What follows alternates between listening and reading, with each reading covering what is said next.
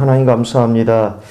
하나님께서 우리 귀한 사역자들을 불러주시고 또 사도행전을 통해서 바울이 걸어갔던 그 여정을 우리가 묵상하며 또 우리 마음속에도 그 여정을 가기를 소원할 수 있도록 기도할 수 있도록 결단할 수 있도록 은혜 주신 것 감사합니다. 오늘 특별히 예배소 지역에 일어난 기적을 통해서 얼마나 하나님이 그 속에 숨겨진 영생 얻기로 작정된 자를 귀하게 여기시는지 알게 하여 주시옵시고 우리도 바울 같은 마음과 정신과 사상과 또 순교자적 증인의 모습으로 이 사역을 감당하는 모든 분들을 되게 하여 주옵소서. 개인의 문제도 있고 또 답답한 문제도 있지만 그것을 뛰어넘는 믿음 허락하여 주시옵시고 늘 말씀과 기도를 통해서 그리스도로 충만케 하여 주시고 내 생각이 아닌 성령의 인도를 세밀히 받는 모든 분들을 되게 하여 주옵소서 예수 그리스도 이름으로 감사하며 기도드리옵나이다. 아멘 아, 반갑습니다. 보통은 어, 온라인으로 강의하는데 오늘 이렇게 여러분들 만나서 굉장히 기쁘고 또 시간표가 되어서 이제 우리가 말씀을 받았고 또 그 부분을 실천하는 어, 현장 전도가 곧 시작이 될 줄 믿습니다. 그럼 믿음으로 여러분들이 어, 동참해 주셨으면 에, 감사하겠습니다. 에, 원래는 34명이 모여서 어, 진행하려고 했는데 어, 온라인 영상을 어, 찍어야 될 것 같아요. 34명만 듣는 게 아니라 한 400명, 500명이 듣기 때문에 영상을 찍고 어, 그렇게 진행하려고 합니다. 에, 여러분들도 교회 오랜만에 평일날 오시니까 좋죠? 네. 네. 어디 가서 모였단 말을 하지 마시기 바랍니다.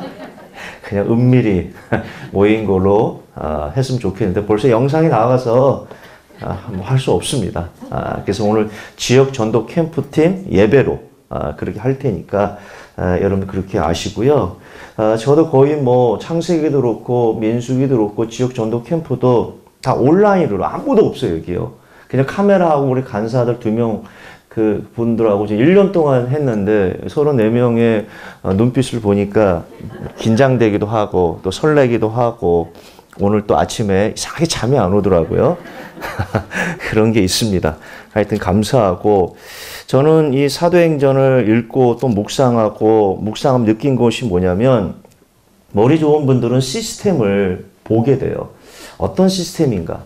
바울이 가는 곳마다 이 전도 시스템을 어떻게 구축했는가? 그런 관점으로 보는 분도 있습니다. 나쁜 거 아닙니다. 저는 긍정적으로 봅니다. 근데 저는 이 말씀을 묵상하면서 느낀 것이 뭐냐면 바울의 중심입니다. 바울의 가슴이에요. 바울의 중심 속에 어떤 중심이 있는가, 어떤 사상이 있는가. 그 내면에는요, 한 사람 한 사람을 귀하게 여기는 그 바울의 마음이 있어요. 정말 사람을 귀하게 여기는구나. 한 사람을 볼때 이 사람이 유대인이냐, 이방인이냐, 헬라인이냐 그런 관점이 아니라 돈이 있느냐 없느냐 그런 관점이 아니냐 인격이 훌륭하냐 훌륭하지 않느냐 그런 관점이 아니라 영혼 자체를 귀하게 여기는 거예요. 생명이 있느냐 없느냐 소속이 어디냐 하나님의 자녀냐 사단의 자녀냐 그런 관점으로 보는 거예요. 그러면서 이 사람이 제자 되기를 원하는 겁니다. 그 제자를 위해 모든 것을 다 투자해요. 그래서 그런 마음이 전달돼요. 그 근본이 뭐냐면 1장 8절입니다. 마르투스. 증인이란 이 마르투스. 법률 용어지 않습니까? 이 마르투스라는 이 증인이란 이 법률 용어가 성취되기 위해서는 세 가지가 돼야 됩니다. 그 첫 번째가 반드시 보고 들은 것이 있어야 돼요. 두 번째는 법정에 출두해야 됩니다. 세 번째는 진실만을 말해야 됩니다. 이게 증인입니다. 바울은 보고 들은 것이 있었고 현장에 출두했고 그 현장에서 진실만을 얘기했습니다. 그 증인이거든요. 이런 증인이 바울뿐만 아니라 그 당시에 굉장히 많았습니다. 그런데 왜 바울이 가는 현장마다 이런 기적이 일어났는가? 증인은 증인인데 어떤 증인이냐? 이 마르투스라는 이 헬라에서 나온 영어 단어가 마터입니다. 마터. 순교자. 그러니까 증인이 아니라 순교자적 증인입니다. 내가 복음을 위해 죽겠다.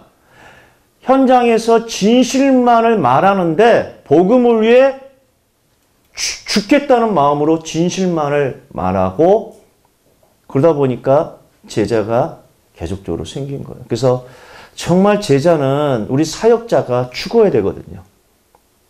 그렇지 않으면 제자가 나오지 않습니다. 그런 관점으로 여러분들이 보시면 되고요. 그래서 이 사도행전을 통해서 기도가 뭐냐면 하나님 나도 이 증인, 이 마르투스라는 이 증인의 삶을 살게 하여 주시고 순교자적 증인이 되게 하여 주옵소서. 가정 보고 봐도 결국 내가 증인인데 어떤 증인이냐? 순교자적 증인이 될 때 가정이 복음화되고 내 자녀가 완전히 제자되기 위해서는 내가 순교자적 증인의 자세로 아이를 양육해야만 가능합니다. 그러니까 우리 얼마나 사상이 중요하겠습니까? 뭐 행위, 인격 그걸 떠나서 정말 중요한 것이 이 바울의 가졌던 이 사상, 이 중심 이런 관점으로 우리가 사도행전을 보게 되면 참으로 참으로 가슴이 전달되는 게 많아요.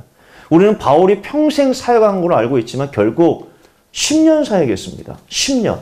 AD 47년에서 57년. 딱 10년 사역했어요. 그 10년 동안 순교자적 증인의 자세로 선교했더니 어떤 역사가 일어나냐. 자, 바울이 AD 47년에 선교했던 제 1차 세계 선교를 통해 이 갈라디아 지역에 교회가 생겼습니다. 이 갈라디아 지역에 비시디안 안디오, 이고니온, 루스트라, 더베 교회가 세운 겁니다. 또 루스트라에는 굉장한 제자들이 많이 생겼죠. 거긴 누가 있었습니까? 디모데가 있었죠. 더베 출신의 가이오도 있었습니다. 여러분 아시잖아요. 루스드라에서 바울이 당한 고통이 아닙니다. 죽었습니다. 극단적 유대인자들이 쫓아와서 돌로 죽였어요. 그 죽은 줄 알고 성 밖에 내 던졌습니다. 그러니까 본인이 죽은 거예요. 죽어서 결국 생긴 제자가 그 유명한 디모데 아닙니까? 그게 1차 세계 성교입니다. 2차 세계 성교는 BC 안도우를 출발해서 바울과 신라가 그 다음에 더베와 루스트라에 거쳐서 여기서 누굴 데려갑니까? 디모데를 데려갑니다. 근데 그 디모데 를 데려가는데 그때 나이가 미성년자예요. 18세에서 19세를 봅니다. 어떻게 부모가 허락했을까? 몇 년 전에 바울이 루스트라에서 복음 증가하다가 돌에 맞은 것을 디모데도 보고 그 어머니 유니게도 보고 로이스도 다 봤을 텐데 어떻게 바울이 이 아이를 세계 선교에 동참해 주십시오 건의할 때 부모가 어떻게 허락했을까? 그 아들을. 엄마들은 아들에 대한 게 강하잖아요. 그래서 후회도 많이 하죠. 그 아들을 어떻게 보냈을까? 디모데가 훌륭한 것이 아니라 그 어머니가 너무너무 훌륭한 거예요. 자식을 순교하는데 던진 거예요. 그래서 바울과 신라가 루스드라의 디모데를 데리고 이 드로아에서 누가가 합류합니다. 그래서 이 배를 타고 우리가 말하면 이 마게도냐와 아가야 지역에 성교했던 것이 2차 세계 성교입니다. 이때는 이제 팀이 돼요. 팀이 결성됩니다. 그리고 3차 세계 성교입니다. 3차 세계 성교는 5년 했습니다. 5년을 했는데 이 에베소 지역에 3년을 한 겁니다. 그 나머지 2년은 바울이 2차 세계 성교 때 세운 마게도냐와 아가야 지역에 우리가 말하면 순회 팀 사역을 합니다. 그게 2년이에요. 그 5년을 사용합니다. 그리고 AD 58년에 드디어 예루살렘에 입성해요. 그 2년 동안 유대인들이 고소해서 가이사라에 가서 우리가 말하는 소송전을 계속 하는 겁니다. 그리고 내가 가이사한테 상소하리라 그래서 로마로 가는 겁니다. 로마 감옥에 2년 있다가 그리고 잠깐 풀려납니다. 그게 AD 62년에서 63년이에요. 이때 쓴 편지가 이제 디모데 전서 후서입니다. 마지막 유언의 메시지예요. 우리가 읽는 디모데 전서 후서는 바울의 유언에 대한 메시지입니다. 자기 아들에게 보내는 우리가 말하는 유언서예요, 유언서. 그러니 그걸 모르고 디모데 전서 후서를 읽으면 아무 감동이 없어요. 저는 이 메시지를 준비하면서 전에 제가 원자력 병원에서 병원에서 이제 이분이 얼마 못 사니까 1인실로 보내더라고. 1인실로 보냅니다. 그래서 제가 마지막 인종 예배를 드렸어요. 자녀들이 쫙 모입니다. 예배를 드리고 나서 그 아버님한테 마지막 자녀들에게 한마디 한마디 하라고 그랬거든.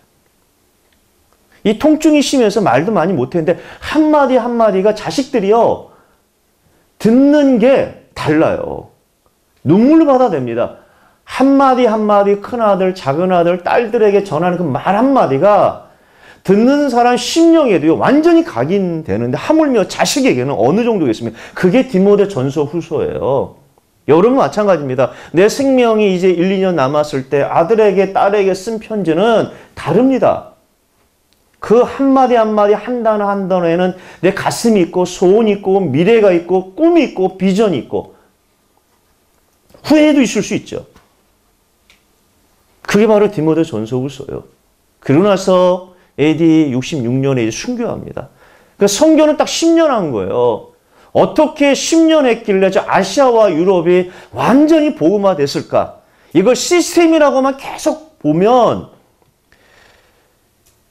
안 됩니다. 시스템을 구축했습니다. 그러나 시스템도 사람이 구축해요. 그 정신, 그 마음이 뭔가 그걸 몇 년 동안 사도행전을 보면서 최근에 발견한 거야. 아, 그것은 순교자적 증인이었구나.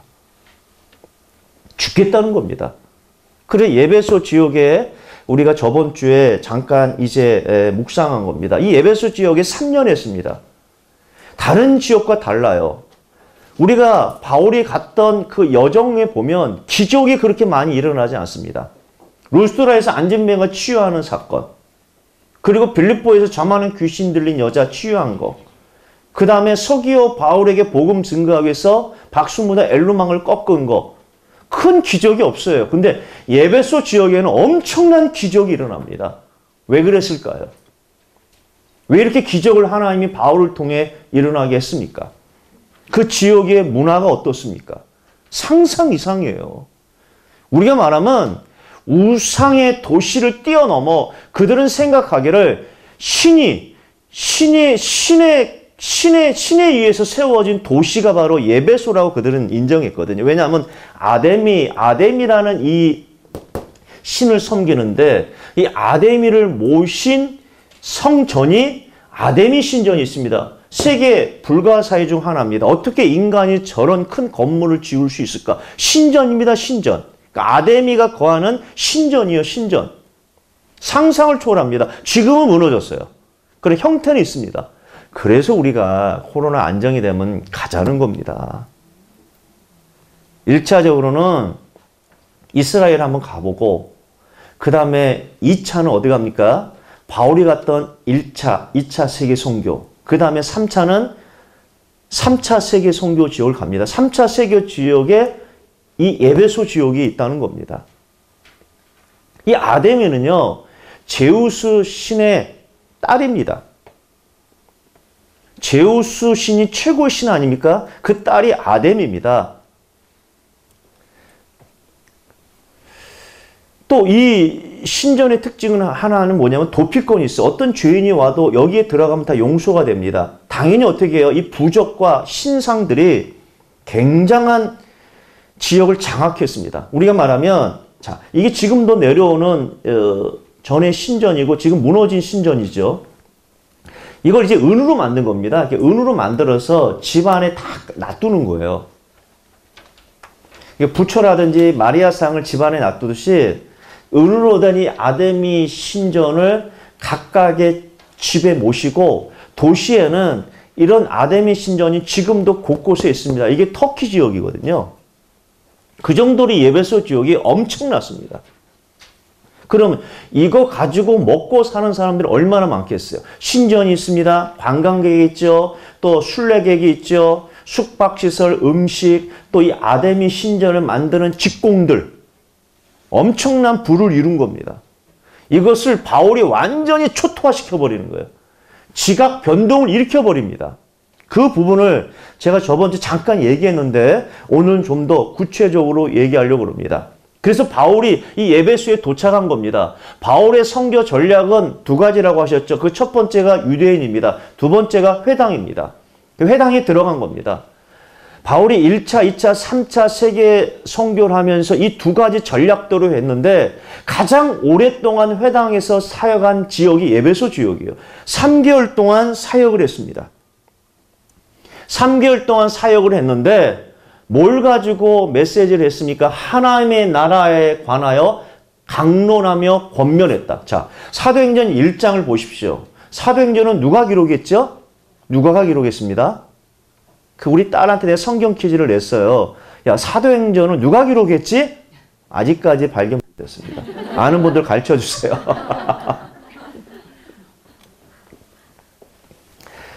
그 사도행전을 누가 기록했습니까? 누가가 기록했거든. 전편이 누가복음이고 후편이 사도행전입니다. 기간이 언제냐면 AD 60년에서 61년 이때가 바울이 로마 감옥에 투옥됐을 때 누가가 어떻게 해요?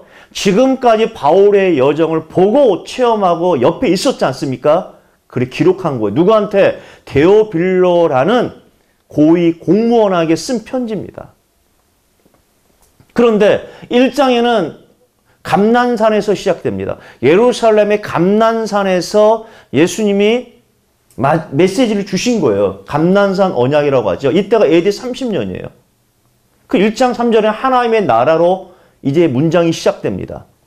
근데 사도행전 마지막 장이 28장입니다. 마지막 절이 31절이에요. 어떻게 나옵니까? 하나님의 나라를 거침없이 담대히 증거하니라. 이때가 AD 60년이에요.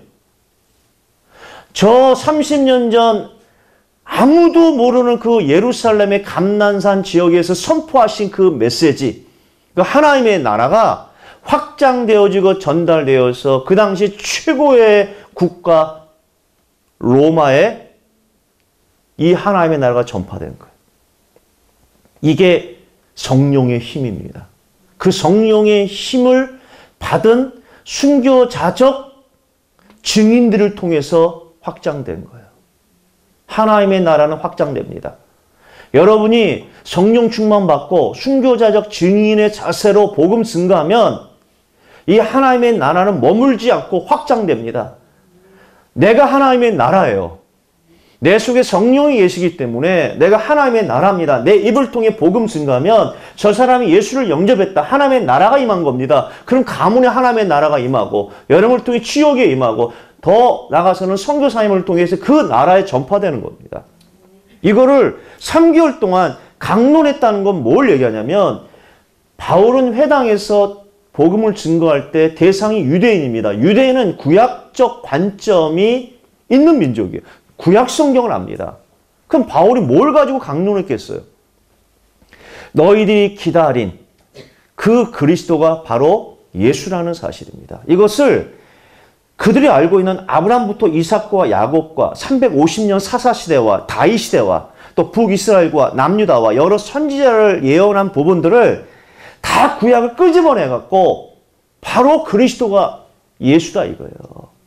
이때가 여러분들 AD 53년입니다. 23년 전에 십자가에 죽었던 그분이 신성 모독죄로 죽은 것이 아니라 너희들이 기다린 바로 메시아 그리스도라는 사실을 지금 증거하는 거예요. 이걸 성경을 풀어서 설명한 겁니다. 이걸 강론이라고 하거든요. 그럼 3개월 동안 회당에서 말씀 증거했더니 나타난 반응이 첫 번째가 뭡니까? 비방한 겁니다. 유대인들이 듣고 비방한 거예요. 바울 복음의 핵심은 뭐예요? 그리스도가 바로 예수다. 십자가 죽으시고 부활하셨다.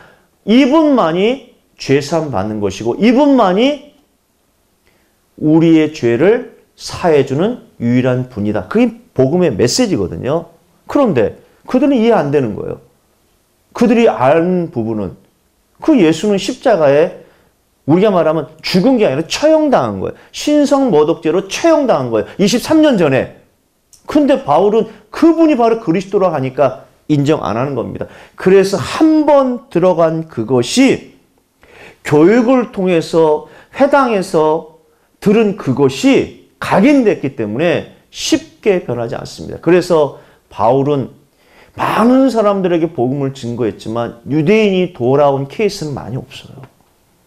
전략은 유대인이었고 전략은 회당이었지만 유대인이 복음 받고 돌아온 것보다 이방인이 복음을 받고 돌아온 케이스가 더 많다는 거예요.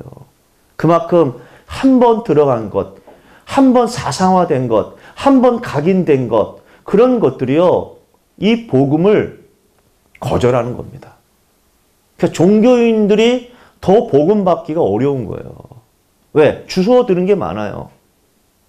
그러니까 실제로 따져보면 정말로 정확 한 성경 지식과 정확한 하나님의 말씀이 없어요. 여러분 예수님이 40에 하나 감한매를 맞고 십자가에 죽으셨어요?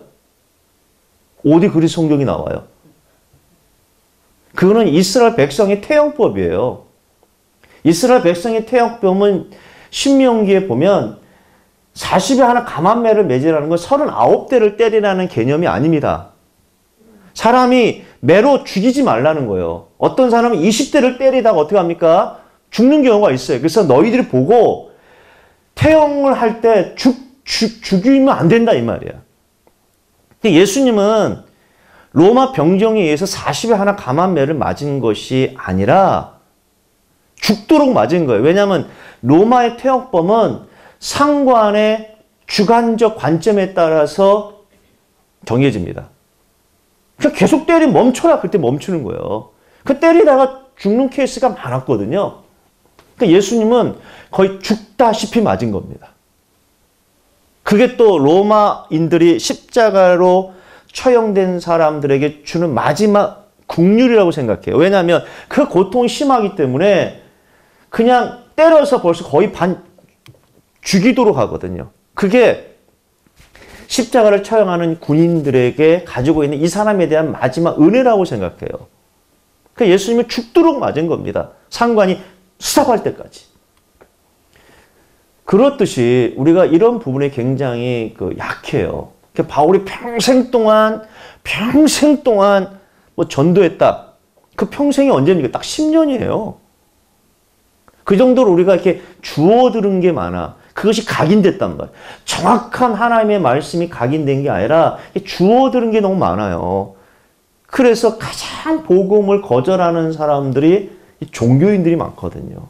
그걸 아시고 여러분들이 그런 사람들의 가장 중요한 건 내 얘기하는 게 제일 중요해요. 그리스도를 만나기 전과 후 그들의 마음이 굳어 믿지 않은 겁니다. 그들은 누구지요? 유대인의 회당에 있는 누굽니까? 유대인입니다. 그런데 그 중에서도 이 복음의 말씀이 들려지고 깨달아지고 믿어지는 사람이 있는 거예요. 그 사람들이 바울의 눈에 보인 겁니다. 그 사람들을 따로 따로 세웠다. 다른 말 하면 제자 미션홈을 한 겁니다. 장소는 어디입니까? 두란노 손에서. 몇 년 했습니까? 2년 동안. 아니 말씀이 들려지고 깨달은 사람들에게 2년 동안 계속적으로 말씀을 증거했더니 엄청난 역사가 일어난 겁니다. 그래서 두란노 서울에서 2년 사역하고 나서 성경은 이렇게 정의합니다. 두 해 동안 이같이 하니 아시아에 사는 자나 하는 유대인이나 헬라인이나 다 주의 말씀을 듣더라.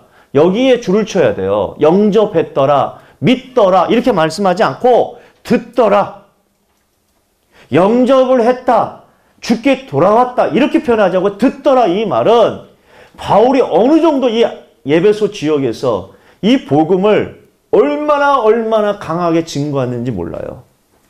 예배소에 사는 모든 사람은 한 번이라도 복음을 전해야겠다. 이런 심정 가지고 전하다 보니까 다 들은 거예요. 이게 우리 캠프팀이 가져야 될 중심이에요. 믿더라. 교회 등록했더라. 영접했더라. 그게 아니라 한 번 정도는 다 들어야 된다. 여러분 그런 마음이 있어야 돼요. 우리 가문에서 내가 가문 안에서도 어떻게 왼수가 있을 수 있거든요. 나에게 상처 준 사람 왼수예요. 근데 가족이 제일 많습니다. 왼수가 아프리카 사람이 아니에요. 르완다 사람이 아닙니다. 왼수는 어디 있어요? 보고 들은 사람 분명히 있어요. 그게 가족일 수 있고 주변일 수 있어요. 그것도 내려놔야 돼. 그 고정관념 내려놔야 돼. 내 입을 통해서 예수가 그리스도예요. 그분이 십자가에 죽으시고 부활하시고 하늘 보좌에 계시는데 그분을 믿는 자는 영생을 얻는다. 이 중요한 복음을 한 번이라도 나와 만나는 나와 연결된 사람은 들어야겠다. 전해야겠다. 이게 우리 평생 가져야 될 중심 사상이에요. 바울은 이렇게 한 겁니다. 자, 그랬더니 3개월 회당 사역하고 두란노 선에서 2년 사역했습니다. 근데 어떤 면에 3년 사역했거든요. 제가 저번에 얘기했죠. 바울이 3차 세계 선교를 마치고 이 밀레도에서 자기가 3년 동안 사역했던 그 예배소에 있는 장로들을 불러서 마지막 고별 설교합니다. 그때 그거 얘기해. 내가 3년 동안 눈물로 사역했다. 그러면 3개월 사역하고 두란노스를 2년 했습니다. 그럼 2년 하면 24개월 정도만 안 했거든요. 그럼 나머지 12개월, 1년은 어디서 했습니까? 이 예배소라는 것은 교통의 중심지입니다. 아시아의 보고라고 해요. 그럼 이 예배소 주변에 뭐가 있습니까? 골로세, 라오디아기아, 빌라델피아, 사대, 서머나, 두아디라, 버가모. 좀 낯선지 않은 단어죠? 예배소 계시록 1장, 2장에 보면 일곱 교회 있죠? 거기도 바울의 영향력에 의해서 세워진 거예요. 바울이 세웠든지 아니면 바울의 제자들이 가서 교회를 세운 거예요. 그러니 이 예배소 지역이 엄청난 역사가 일어난 겁니다. 역사가 일어났다는 것은 사단의 강한 저항도 있다는 거예요. 그러기 때문에 하나님께서 더 큰 기적과 이적을 이 에베소 지역에 베푼 겁니다. 어느 지역도 이렇게 큰 기적이 일어난 적이 없어요. 그만큼 사단의 세력이 강하다는 겁니다. 인간적으로 볼 때 우상과 또 거기에 대한 순례객들과 관광객들과 그 우상을 만드는 여러 직공들과 그 우상을 통해 먹고 사는 수많은 예배소 사람들 그들 심령 속에는요 강한 사단의 세력이 장악하고 있거든요. 그들을 깨려면 하나님이 더 많은 역사를 주셔야 돼요. 역사가 많다는 건 사단의 저항도 큰 겁니다. 영접의 역사가 지역에 많다는 건 그만큼 사단의 세력도 강한 겁니다. 핍박도 있어요. 수근거리는 소리도 있을 겁니다. 비방하는 소리도 있을 거예요. 어떤 면에서 우리가 강한 지역에 복음 증거할 때 그 우리가 전달한 주보나 전도제를 통해서 교회 민원도 많이 들어올 겁니다. 교회 민원이 많이 들어온다는 건 뭘 얘기합니까? 지역이 꿈틀거리고 있다는 거예요. 조용한 교회는요, 민원도 없습니다.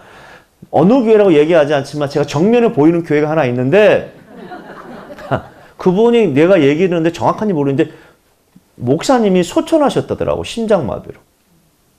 우리 아내가 얘기해 주는데 100% 맞는 얘기는 아닌 것 같기도 하고 맞는 것 같고 우리 아내는 가끔 뭐 그런 소리를 하거든요. 아줌마들한테 들은 얘기들을 갖고 뭐, 뭐 백신 맞지 말아라. 왜 맞지 말아 했더니 뭐 바코드가 꽂혀 갖고 뭐 해 갖고 내가 더 이상 대화를 안 했습니다. 뭐. 그래서 어떻게 그런 얘기를 그 자기를 안 맞겠다더라고요. 나는 공짜인데 맞는다. 뭐 공짜는 뭐 양재물도 먹는데 왜 안 맞냐? 그래서 지금 그 칠레에 김학영 선교사님하고 남편 호세 목사님, 호세 목사님이 확진됐어요. 그 병원에 입원했는데 주사를 예방 접종을 하라고 하잖아요. 칠레에서도 연령이 있으니까. 그래서 선교사님은 1차, 2차 다 맞은 거야. 근데 호세 목사님 안 맞았다는 거. 왜 안 맞으니까 뭐 여러 가지 들은 게 있잖아요. 가짜 뉴스. 그게 각인다고 안 맞은 거야. 병원에 입원해갖고 지금 뭐 열이 뭐 40도 오른다고 뭐 기도 제금 보냈더라고요. 그 여러분들 우리가 정확한 하나님의 말씀의 배경이 없고 정확한 성경의 배경이 없으면 정말 유튜브를 통해서 나온 수많은 것들은 우리 마음과 정신을 뺏길 만한 내용들이 참으로 많아요. 그러니까 오직 성경이라는 것이 왜 중요한지 알아요. 오직 그리스도 먼저 오직 성경이 돼야 돼. 왜냐하면 오직 성경. 왜냐하면 성경 구약과 신약으로 나눠지는데 구약이 누구 얘기입니까? 구약은 장차 오실 그리스도 얘기합니다. 신약은 뭐지요? 구약에 예언된 그 그리스도가 예수로 오신 겁니다. 그러니까 성경은 그리스도에 관한 얘기입니다. 그러니까 오직 성경 속에 그걸 발견해. 이거를 우리는 원줄기 중심으로 성경을 본다고 얘기합니다. 원줄기의 시작은 제가 창세기를 통해 얘기하죠. 창세기 3장 15절입니다. 여자의 후손이 누구를 통해 이 땅에 오시는가? 그 창세기는 열 건의 족보가 나옵니다. 톨레 도트라고 내가 얘기했죠? 족보 중심으로 창세기는 기록이 된 겁니다. 왜 족보에 관한 얘기가 많습니까? 도대체 여자의 후손이 어떤 누구를 통해 이 땅에 오시는가? 그거를 막는 사단에 보이지 않는 세력들이 있는 겁니다. 그래서 우리가 원줄기 중심으로 성경을 보지 않으면 어떤 면에서 이 성경은요, 내가 좋아하는 구절을 인용하는 세상에서 말하는 명언집과 같이 돼버려요. 돈이 없는 사람들은 이 성경 구절을 어떤 게 이해되겠습니까? 뭐가 위로가 되겠습니까? 늘 실패하는 사람이 이 성경 말씀을 볼 때 창세기 3장 15절이 더 들어오겠습니까? 무수하지 말라. 내가 너와 함께 함이라. 놀라지 말라. 나는 너의 하나님이라. 그 단어가 보이겠냐고요.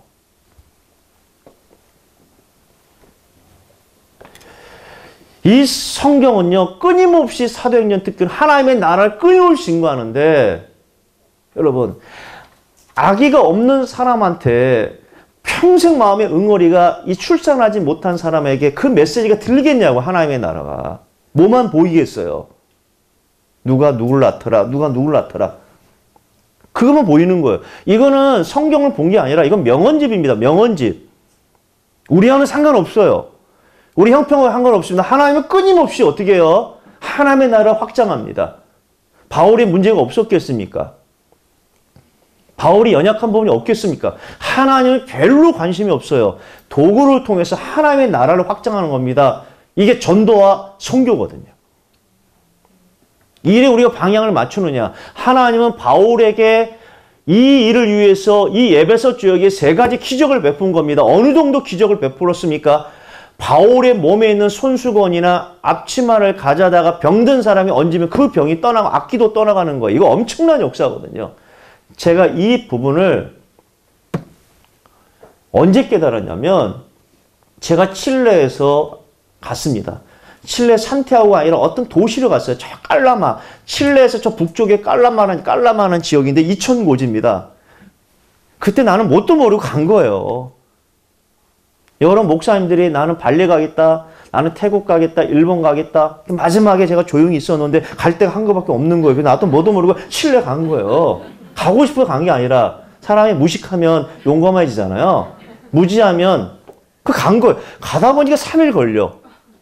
가다 보니까 여기가 깔라마라는 지역이에요. 안데스 산 옆에 낮 온도가 40도예요. 머리가 너무 아프더라고요, 이게. 혈압이 있잖아요. 근데 너무 아픈 거 보니까 이천 고지에 이천 고지. 이천 고지에 뛰어다니면 죽습니다. 뭣도 모르고 사역한 거예요, 그냥. 그래서 어떤 교회 오라고 해서 가서 메시지 증거했다고. 여러분 그 이천 고지에서 메시지를 한 40분 증거하면요 머리가 두통이 와요. 왜 오는지 몰랐어. 근데 이천 고지라 그래. 그 끝나고 나서 갈랐더니 목사님이 부탁한 게 있다더라. 그 무슨 뭐, 뭡니까 했더니 기도 좀 해달라. 그래야 한 100명 모이는 교회인데요. 줄을 쫙 서요, 성도들이. 그리고 머리에다 손 놓고 기도해 주라는 거예요, 이게. 우린 그런 게 없잖아요. 아, 자기가 기도해야지. 예수 이름으로 기도하면 될 거 가지고 그러면 안 된다는 거예요. 목사가 기도해 준다는. 그리고 100명이 줄 섰으면 예배 끝나고 이제 기도하는 거예요. 무슨 내용인지도 모르겠어. 그냥 언제 하는 거야. 여기 어깨가 아파갖고 그 중간에 되니까는 기도했더니 여기도 기도해 주더라고. 옷을 갖고 와. 무슨 옷이 했더니 내 남편이 병에 걸렸는데 남편이 입던 옷이라는 거야. 여기에 기도해 주면 나 늦겠다는 거예요. 믿음이 있는 사람입니까? 없는 사람입니까? 믿음이 있다고 생각하세요? 전혀 믿음이 없어. 왜? 내가 그 예배를 들으면 느낀 게 뭐냐면 거의 한 명도 성경책을 가져온 사람이 없어요. 또 목사님도 설교 한 10분, 15분밖에 안 해요. 찬양을 1시간 하고. 성경책 갖고 온 사람도 없고 헌금 시간을 봤을 때 집회 낸 사람 한 분도 없어. 다 동전이에요. 왜냐하면 헌금함이 그 쇠로 된 헌금함이기 때문에 동전 소리가 들려요. 땅랑땅랑. 그 믿음이 아니에요. 그 신비주의지. 그 내가 여기 기도해 줄까 말아야 될까. 다 사람 다 쳐다보잖아요. 목사님도 해주라더라고 막. 할 수 없이 오세했습니다. 믿음 없이 했어요. 전혀 안 들어줄 거다. 난 바울도 아니다. 이런 것들을 비건전 오순절 계통의 교회들이 지금 이 남미에서 이렇게 하고 있다니까. 참 안타깝죠. 예수가 누군지 그리스도가 누군지 전혀 몰라요.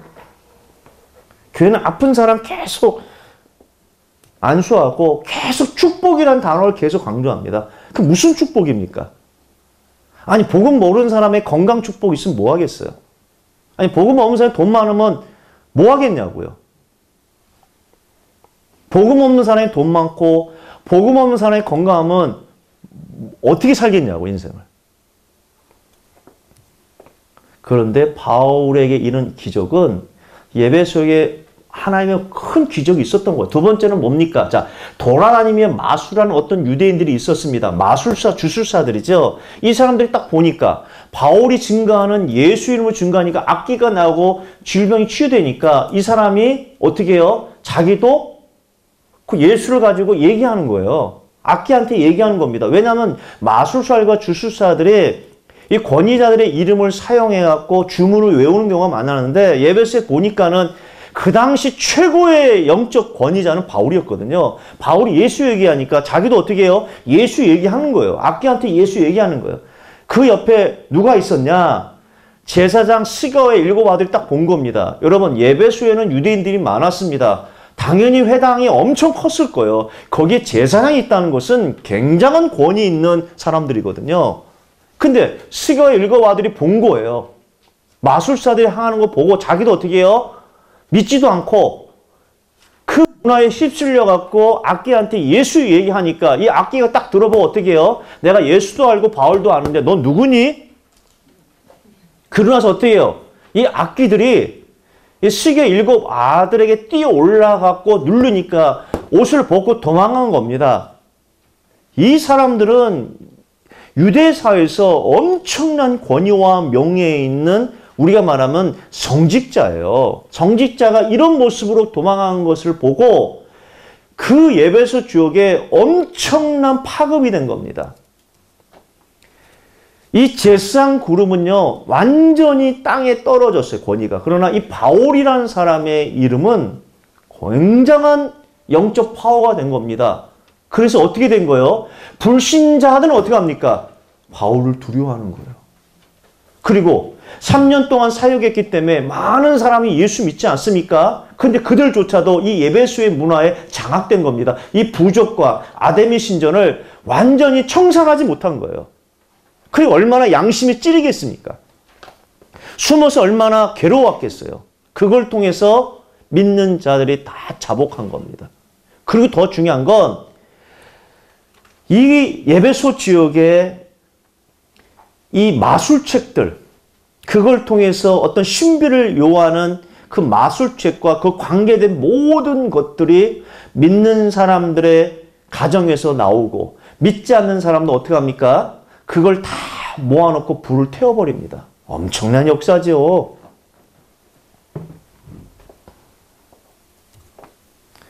그 태우는 마술책이 뭐랍니까? 은 5만 드라크마. 데나니온. 데나니온 드라크마는 뭐라고 했죠? 노동자 하루 품삯 5만 원으로 했을 때 137명의 1년 품삯은요. 계산해 보니까 25억입니다. 5만 원이라고 계산할 때. 10만 원은 50억이에요. 2000년 전에 여러분들 25억이다. 그러면 2000년 지난 오늘 지금의 돈으로 환산하면요. 수천억이에요. 그러면 예배소 지역에 어떤 역사가 일어났는지 아셨겠죠? 우리가 말하면 지진이 일어난 겁니다. 지진도 7.3 지진. 여러분 7.3, 8.3 이 지진을 체험을 못 하잖아요. 뭐 한국에 무슨 지진이 뭐가 있습니까? 저는 7.3을 체험한 사람이에요. 칠레에서. 7.3 지진이 왔을 때 제가 집에 있었거든요. 아침입니다. 7.3 지진이 있는데 이 식탁이 올라갑니다. 몸이 붕 떠서 탁 내려옵니다. 아무리 얘기해도 모르죠. 내가 안 떴는데 뭘. 그 공포는 모를 거예요. 사람 몸이요. 밥 먹다가 지진이 오는데 몸이 붕 떴다가 툭, 붕 떴다 툭. 우리가 놀이기구 타듯이 붕 떴다 툭, 붕 떴다 툭. 전등이 이렇게 흘러가요. 제가 칠레를 마지막 떠나는 공항에 산티아고 공항에서 지진 5.5가 났는데 이 공항에 지진이 5.5인데도 막 흔들리니까 막 막 떠나고 싶더라. 언제 비행기 막 7.3을 경험한 거예요. 그게 지각 변동입니다. 그게 예배소 쪽에 임한 거예요. 왜 이런 큰 기적을 이루게 하셨을까? 이유가 있어요. 거기에 영생 얻기로 작정된 자들이 많았을 겁니다. 이 말은 사단의 강한 저항도 많았을 거예요. 근데 여기서 중요한 메시지를 하죠. 이 사건을 통해서 19장 20절에 보니까 이와 같이 주의 말씀이 힘이 있어 흥왕하여 세력을 얻으니라. 흥왕하여 세력을 얻다는 건 이 바이러스가 어떻게 합니까? 막 전염되는 속도가 굉장히 빠른 거예요. 코로나보다 더 빠른 확산입니다. 그러고 나서 바로 성경에는 뭐라 합니까? 이 일이 있은 후에 바울이 결론을 내립니다. 바울이 마게도냐와 아가를 거쳐 예루살렘에 가기로 작정하여 이르되 내가 거기 갔다가 후에 로마도 보아야 하리라. 이거 굉장한 중요한 메시지거든요. 예배소 쪽에 일어난 기적을 통해서 바울이 결정한 거. 내가 예배소 지역에 3년 사역하고 이제 마게도냐를 거쳐서 아가에 거쳐서 내가 예루살렘으로 가리라. 이때가 AD 58년입니다. 그리고 나서 예루살렘에서 끝나는 것이 아니라 로마도 가야 하리라. 특별히 여러분들이 많이 나오는 로마도 보아하리라가 이 예배소 지역의 사역과 거기서 일어난 기적과 말씀이 흥황하여 세력을 얻는 것을 보고 바울이 딱 결정한 거예요. 내가 이제 로마도 가리라. 근데 왜 예루살렘에 간다고 그럽니까? 벌써 계획이 딱 찬 거예요. 로마 가면 그냥 갑니까? 왜 하나님 이런 기적을 베푸셨을까? 왜 이렇게 말씀이 흥황하여 세력을 얻을까? 왜 이런 능력을 베풀게 하셨을까? 하나님은 여기서 멈추는 것이 아니라 그 힘을 가지고 그 당시 땅끝 로마까지 가라는 하나님의 사인이구나. 그러니까 문제와 사건을 통해서 바로 복음적 해석을 해버리는 거예요. 자, 이런 역사가 일어나고 나서 보십시오. 이제부터는 사단의 강한 저항이 일어나기 시작합니다. 누구지요? 자, 데메드리오라는 사람이 있어요. 지금 이 지역은요, 아까 말씀드렸지만, 이 아데미 신전이요, 이게 그 집안에 있는 겁니다. 은으로 만든 거예요. 고가입니다, 고가. 이건 의무적으로 집안에 다 있는 거예요. 그 집에 들어올 때, 나갈 때 항상 그 앞에 절을 하고, 또 제사를 지내고, 이게 은으로 만든 거예요. 누가 만들어요? 직공들이 만든 겁니다. 이걸 가지고 만드는 기술자들이 있어요. 그 직공들, 은을 가지고 이걸 만드는 직공들의 우리가 말하는 대표자, 그 조합장, 노조위원장이 뭐냐면 누굽니까? 아까 얘기했죠? 데메드리오입니다. 이 사람이 딱 본 거예요. 그이 사람이 주동이 돼서 우리가 말하면은 소유를 익힙니다. 왜? 이거 중지 안 시키면 우리 굶어 죽겠다. 그때쯤 되어 이 도로 말미암아 적지 않은 소동이 있었으니 즉 데메드리오라 하는 어떤 은장색이 은으로 아데미의 신상 모형을 만들어 직공들에게 적지 않은 벌이를 하게 하던 나름 말하면 이거를 은장색을 가지고 아데미를 만드는 이 직공들의 우리가 말하면 노조위원장급 조합장이 더메드리오인데 이 사람이 직공들과 하나 되어서 지금 어떻게 소유를 익힌 거예요. 우리 잘못하면 이 풍족한 생활이 이 생업이 있었는데 이 바울이 예배소뿐만 아니라 거의 전 아시아를 통하여 수많은 사람을 공유하여 말하되 사람의 손으로 만든 것들은 신이 아니라 하니 이는 그대들 보고 들은 것이라. 여러분 마술책을 불태울 정도면요. 아데미 신전은요. 사람들이 어떻게 해요? 다 버려버리는 거예요. 그리고 구입을 하지 않은 겁니다. 그런 이 사람들 굶어 죽겠는 거예요. 우상에 관계된 일을 하는 사람들. 그 신을 믿는 게 아닙니다. 물질을 믿는 거지. 모든 신의 배후에는 물질입니다. 돈이에요. 내가 원하는 돈, 내가 원하는 성공을 내 힘으로 안 되니까 신을 만들어서 섬기면서 어떻게 해요? 도와달라는 거거든요. 다 물질과 관계됐습니다. 그들이 소유를 일으킨 거예요. 지금 은장색을 만드는 직공들뿐 아니라 지금 관광객과 순례객들이 그 아데미 신전에 온단 말이에요. 그럼 거기서 들어가는 돈이 얼마나 많겠습니까? 먹고 숙박해야지요. 기념품 사지요. 은장색된 아데미 사지요. 이건 돈이 엄청나게 지금 돌아가고 있는 판에 바울이 이걸 중단시켰으니 그 사람들은 바울이 원수입니다. 평생 원수라. 소요가 일어난 겁니다. 그 주동자가 데메드리오예요. 지금 이게 아데미 신전인데요. 신전이 아니라 그 은장소로 만든 거 되게 이뻐요. 은으로 만든 거예요. 다산을 상징합니다. 그 유방이 12개 유방을 지닌 여자입니다. 그 신을 모시는 신전은 7대 불가사입니다. 수많은 순례자와 여행객들이 신전을 방문하면 신전의 주변에서는 기념품, 재물, 음식, 숙박 가장 큰 버리는 뭐예요? 부적. 또 하나는 뭐죠? 신전 모욕물입니다. 이것이 다 중단됐으니 이걸 만드는 사람이 분노가 가득한 거예요. 그들이 이 말을 듣고 이 말을 듣고 분노가 가득하여 외쳐리되 크다 예배소 사람의 아데미요 하니 왜냐 아데미가 제우스의 딸이니까 온 시대가 요란하여 바울로 같이 다니는 마게도냐 사람 가이오와 아리스타고 이 가이오는요 여러분 생각 로마서 16장의 가이오 아닙니다. 또 요한 3서에 나면 가이오 장로 아니에요. 정확하게 누군지 몰라요. 왜냐면 이름이 너무 많으니까. 미국에서 여러분들 뉴욕에서 샘, 탐 부르면 다 고개 들린 사람 많아요. 저기 어딥니까?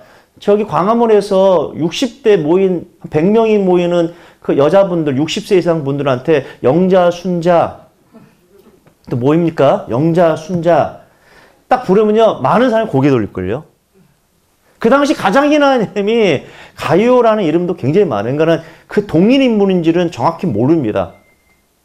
그런데 이 아리스타고라는 사람은요 나중에 사도행전에 보면 바울이 그 가이사라 감옥에서 이제 상소해서 배를 타고 로마로 갑니다. 그때 같이 있었던 사람이 아리스타고예요. 바울의 제자입니다. 바울이 같이 없었던 거예요. 그러니까 이 주동자들 소유하는 사람이 바울 같이 다녔던 사람 딱 보니까 가이오 아리스타고를 딱 붙들어서 일제 연극장으로 갑니다. 노천극장인데 나중에 우리가 그 가면 2만 5천 명을 수용할 수 있는 노천극장 있거든요. 여기로 데려갑니다.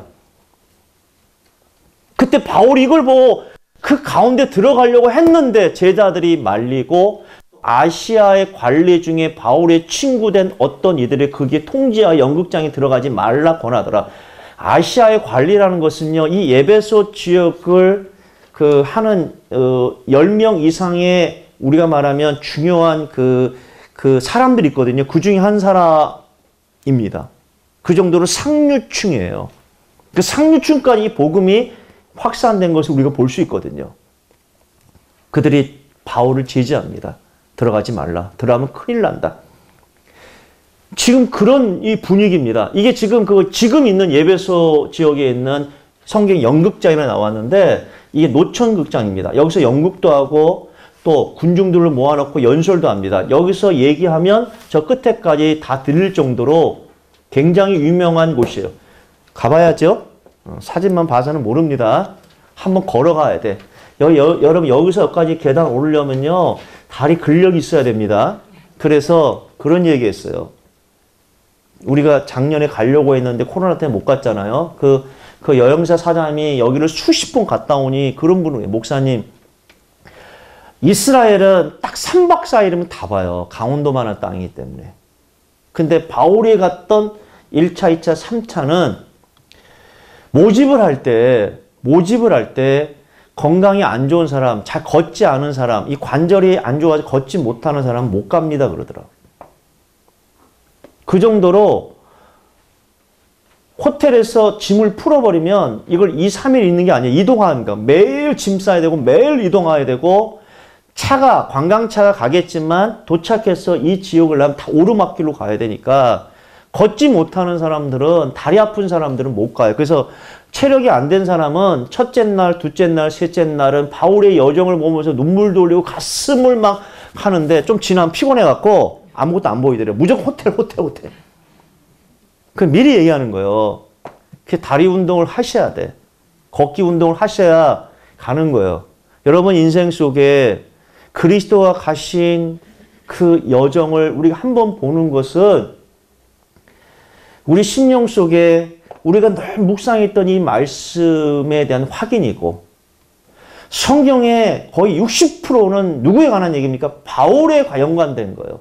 바울이 갔던 성교 여정을 한 번 정도는 보고 만져보고 그리고 성경을 보면서 실제 현장을 봤을 때는요. 우리 가슴에 전달되는 감정이 또 다릅니다. 정말 그래요. 그래서 기도하는 거예요. 그러니까 여러분들은 이후로부터 뭐 코로나가 안정이 되면 뭐 태국 뭐 자녀들이 뭐 한갑잔치 태국 그래 태국 갈 캠프에는 태국은 갈 게 없어 볼 게 뻔해요. 호랑이 쇼, 뱀 쇼, 뭐 남자가 여자 된 거 이런 거 뭐 그게 무슨 감동이 되겠습니까? 여기를 가야 돼. 기도하셔요. 여기에 지금 수만 명이 어떻게 합니까? 가이오와 아리스토를 데리고 가서 지금 소동이 일어난 거예요. 소동이 일어났습니다. 근데 중요한 게 이 데메드리오의 선동에 따라서 이 직공들이 연합하고 그 주민들이 합력해서 어떻게 해요? 노천구청에 갔는데 어떤 이들은 여기 왜 왔는지도 몰라. 성경에 뭐랍니까? 사람들이 외쳐 어떤 이는 이런 말하고 어떤 이는 저런 말을 하니 모인 무리가 분란하여 태반이나 어찌하여 모이든지 알지 못하더라. 군중이 그러는 거예요. 아니 데메드리오가 선동해서 관계된 그 아데미 그, 그 모형물을 만드는 직공들이 연합해 소유를 일으켜서 막, 막 외치고 하니까 군중들이 같이 갔는데 어떤 사람 이런 말, 어떤 사람 저런 말 하니까 왜 모인지를 몰라. 그때 유대인들이 눈치가 있잖아요. 유대인들도 우상에 대해서 끊임없이 제기하고 바울도 우상에 대해서 끊임없이 얘기했지 않습니까? 그러면 잘못하면 유대인들이 피해를 볼까봐 유대인들이 어떻게 해요? 눈치가 있잖아요. 그래서 대표자들 알렉산더를 내세운 거예요. 네가 앞에 가서 얘기해라. 이 사건은 우리 유대인과 관계없다. 이 사건은 저 바울과 관계되기 때문에 너가 얘기 잘해라. 그래서 예배소에 사는 유대인들이 알렉산더를 등을 밀어버린 거예요. 네가 나가서 얘기 잘해라. 근데 나갔는데 어떻게 해요? 도저히 안 먹히는 겁니다. 그러니 점점점 어떻게 합니까? 분위기가 고조된 거. 이때 이제 서기장이 서기장 이 서기장이 누구냐면요. 자 예배소 시의회에서 선출된 최고 행정관리입니다. 이때 예배소에 총독 있잖아요. 총독. 이 총독의 권위가 엄청 세거든요. 예수님 당시 총독은 누굽니까? 빌라도예요. 로마가 세계를 정복하면서 그 나라의 정치와 종교를 인정합니다. 그리고 로마에서 총독을 파견합니다. 근데 이 예배소에도 총독이 있어야 되는데 이 총독이 암살을 당해요. 그래서 총독이 지금 없어요. 그 총독이 없는 가운데 그 모든 예배소의 행정적인 부분을 관리하는 최고의 사람이 서기관이거든요. 이 서기관은요, 책임이 있어요. 로마는 정치와 종교는 인정하지만 소유를 일으키거나 불법 시위에 대해서는요, 아주 아주 문책을 합니다. 그래서 AD 70년에 예루살렘에 소요가 일어났습니다. 소요가 일어난 거, 유대인들이 소요가 일어났어요. 그때 로마에서 디도 장군과 3만 명의 군사를 파견해 갔고요. 예루살렘에 있는 모든 사람을 다 죽이고 헤롯 성전을 불태워 버립니다. 그 정도로 이 소요가 일어나면 로마 군대를 파송합니다. 그럼 이게 소요가 일어나면 누구 책임이에요? 총독이 없는 가운데 서기관이 책임이거든요. 그러니까 불법 사태가 일어나면 본인이 다 책임을 물어야 된다고. 그래서 이걸 막아야 됩니다. 자, 그래서 자, 그가 서기장이 등장해서 하는 얘기가 뭡니까? 서기장이 무리를 진정시키고 이르되 예배소 사람들아 예배소 씨가 큰 아데미와 아뎀 제우스의 딸이 아데미거든요. 제우스에게서 내려온 우상의 신전지기가 될 줄을 누가 알지 못하긴 신전지기나 뭐냐면 수호자. 이 신을 신을 지키는 우리가 말하면 수호자다. 너희 예배소 사람들은 이 에베소 지역이 어떤 도시인 줄 아느냐? 제우스 신과 그의 딸 아데미가 인정한 신을 보호하는 신전지기다 너희들은. 그러니까 그들에게 어떻게 해요? 그 위상을 올려주는 거예요. 너희들은 보통 사람이 아니다. 그런데 너희들이 이런 우리가 말하면 이런 자부심이 있고 신을 보호하는 신전직이 안내직이 보호자 역할을 할 너희들이 그렇게 경솔하게 행동하면 안 된다. 아니 바울과 가이오와 아리스다고가 신전의 물건을 도둑질한 적도 없고 또 여신을 비방하지도 아니했는데 만약에 불법이 나오면 우리가 어떻게 하냐? 정식 재판에 고소할 수도 있고 총독에게 고소하면 되지 않느냐. 이것 때문에 소유가 일어나면 불법 집회가 돼서 결국에는 로마 군인이 오면 우리 도시는 완전히 멸망한다. 그런 얘기예요. 그런 얘기를 하니까 어떻게 합니까? 사람들이 잠잠해져. 왜? 로마라는 나라가 소유가 일어나고 불법 집회가 일어났을 때 로마 군인이 와서 했던 것을 들은 적도 있고 본 적도 있잖아요. 가차 없어요. 사람을 다 죽이고 산 사람은 무조건 십자가에 처형됩니다. 그래서 AD 70년에 디도 장군이 예루살렘에 딱 왔을 때 그 군중들이 이스라엘 백성들이 예루살렘 성문을 다 막았거든요. 그때 로마 군인들이 어떻게 했냐? 그 굶주 굶주 그 문을 다 막아버리고 성을 향해서 공격하지 않고 기다린 거예요. 성 안에 있는 사람들이 굶주리기 시작한 거예요. 굶어 죽이려고 한 거예요. 성문을 다 로마 군인이 막고서요. 그리고 도망가는 사람은 잡아다가 그 근방에 다 십자가를 다 처형시켜요. 애들이고 여자고 아이들이고 같이 없이. 그리고 나중에 어떻게 합니까? 문을 부시고 들어가서 그 예루살렘에 있는 수많은 유대인들을 다 학살하고 헤롯 성전에 불을 태워 다 태워버린 거예요. 그게 로마가 하는 이 소유와 반란이 일어났을 때 하는 정책입니다. 이걸 예배소 사람이 몰랐겠습니까? 그러니까 서기가 이런 말을 했을 때 이 사람들은 어떻게 해요? 중지한 겁니다. 이게 오늘 예배소 지역에 일어난 사건입니다. 이게 19장 마지막에 일어난 사건이에요. 그리고 이제 20장이 어떻게 합니까? 이제 바울이 예배소 지역의 3년 사역을 마치고 본인이 2차 세계 선교 때 세워진 마게도냐의 도시, 마게도냐의 도시 안에 빌립보, 데살로니가, 베레아, 또 아가야 도시, 아덴과 고린도 지역으로 2년 동안 우리가 말하면 순례 사역을 합니다. 그래서 고린도에 도착했을 때 편지를 하나 적어요.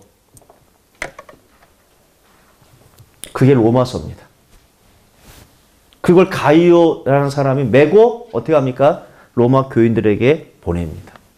자, 우리가 이 사건을 통해서 하나님 왜 에벤소 지역에 이런 기적을 베푸셨을까? 이 말 속에는 영생 얻기로 작동된 자들이 너무 많고 사단의 강한 저항도 많고 근데 2000년이 지난 오늘 이 에베소 지역은 다 무너졌어요. 2000년이 지난 그 에베소 주변에 있는 일곱 교회는 흔적만 있고 관광지로 변했습니다. 이 언약, 바울에게 들었던 이 복음, 그 1세대 복음이 2세대에게 못 내려오고 3세대 못 내려오고 4세대 못 내려오니까 결국에는 아무도 없는 바울이 그렇게 생명 바쳐서 세웠던 이 안디옥 교회와 그 주변의 소아시아 지역은 기독교는 0.1%도 없어요. 다 모슬렘이 장악했습니다. 그래서 우리가 이 remnant 운동을 하는 겁니다. 그래서 후대 교육을 하는 거예요. 여러분 후대들이 이 시대 정말 언약의 바톤을 여러분에게 물려받아서 다 전도자 되기를 바랍니다.